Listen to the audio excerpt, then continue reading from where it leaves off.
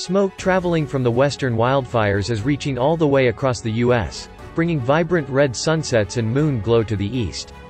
But it's also carrying poor air quality and harmful health effects thousands of miles away from the flames.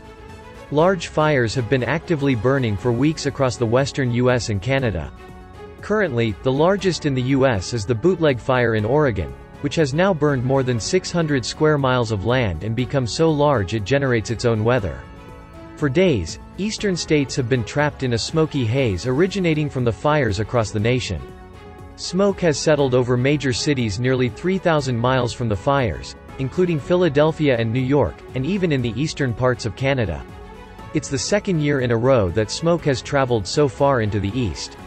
The sight has become normal during wildfire season as fires have become more intense, long-lasting, and dangerous because of climate change. Julie Malingowski, an emergency response meteorologist with the National Weather Service, told NPR that smoke pushed high into the atmosphere at the location of the fires is now being pushed down onto eastern states.